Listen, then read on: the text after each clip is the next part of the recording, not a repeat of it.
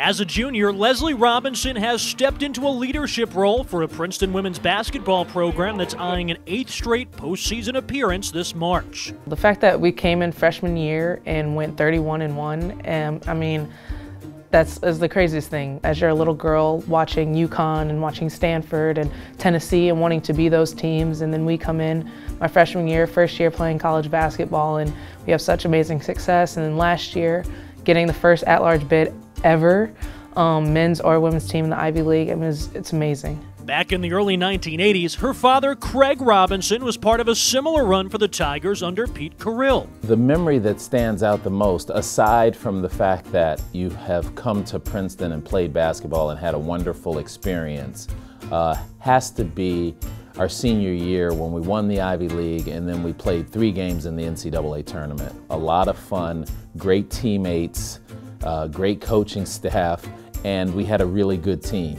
A 1983 Princeton graduate, Craig was a two time Ivy League Player of the Year. After graduation, he played overseas and spent the better part of a decade working in investment banking before getting into coaching. Since then, he's been a head coach at Brown and Oregon State, but he got his start as a Division I assistant in 2000 at Northwestern. Also on that staff, current Princeton men's basketball head coach Mitch Henderson. Aside from the, the fact that every Princeton basketball player knows every other Princeton basketball player, uh, we go back to our both both of our first assistant coaching jobs was was under uh, Coach Carmody at Northwestern University. So he and I are had, had developed a terrific friendship. We also played championship three-on-three basketball nationally together, and uh, I couldn't be happier for what he's doing with the men's program here. I remember meeting Craig for the very first time, um, you know, right when, when I got to Chicago. It was 2000, it was September. I'd heard a lot about him. Coach Carril talked about him all the time, but I hadn't met him. And, uh, you know, he was, at the time, still playing a lot of basketball, and so we, we first were playing a lot together.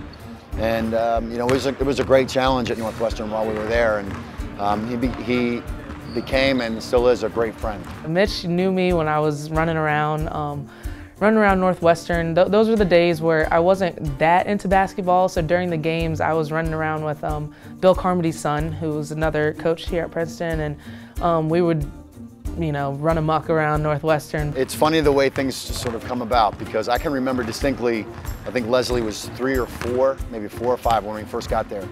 And uh, we were playing this little game on my desk, spinning pennies and quarters and trying to get into this bowl. So it's been really fun to see Leslie, and she's she's grown up into you know, such a, a, delightful person to be around. She's always smiling when she comes into the gym, um, says hi to my kids. So it's been really fun for that to see that. Outside of coaching, Craig has spent time as an analyst with ESPN, and this season he began a new endeavor as part of the Milwaukee Bucks front office, a unique role that plays into his background in business and basketball. You know, I am responsible for a couple of things with the Milwaukee Bucks. First and foremost, uh, the players' development off the court. Everything that they're doing that doesn't have anything to do with the games, I'm responsible for. The organizational development side is that, you know, I'm taking a look at how we're organized as, as a firm a lot of times the business side and the basketball sides are like two separate companies within the same firm, and I'm tasked with hopefully bringing those two entities together. What really helps me with that is the fact that I can speak both languages. I, I can speak to the business side of the house and I can speak to the basketball side, and it truly is a position where I get to use every single one of my skills and experiences that I've, I've garnered over the years. Basketball has taken Craig around the country, and growing up, Leslie moved around with him. From Chicago to Providence to Corvallis, basketball helped ease those transitions. Always having a team and kind of already built in friends made that that much easier. And just being around his teams also made that fun um, and being able to just go to the gym whenever and get shots up with him get shots up with my older brother kind of made wherever we were feel like home. You know i coach leslie less and less as she gets older and older because coach banghart's coaching her now and doing a fantastic job. The main thing i try and get across to leslie is you can't pick up any fouls in the first half because she's a very aggressive player. The rest of the time i'm just a dad have fun, make the open shot. Don't just shoot the open shot, make the open shot and play hard and, uh, and enjoy this experience because it goes by really fast. And while she's certainly carrying on the Robinson family legacy, Leslie's path to Princeton has been her own. Obviously, the fact that I went to Princeton played a factor in my daughter, Leslie, going to Princeton, but the real factor was that she had been here. You know, she had come back here for reunions. She has been around campus just when I was coaching at Brown.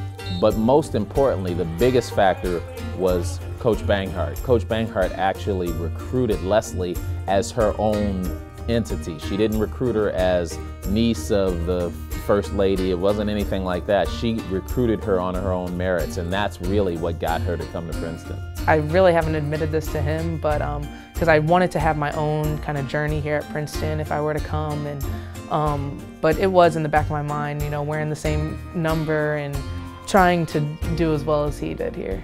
Before I came to Princeton, I had no idea what legacy meant. I didn't know what the definition of the word was, and to to to have a, a daughter who plays here, and then not only just plays here, is doing well here, loves the school, loves her teammates. It more than warms my heart and uh, I am so excited to watch her play. And I still get nervous. I know she's playing well and she's contributing, but I want her to have as much success as she can while she's here.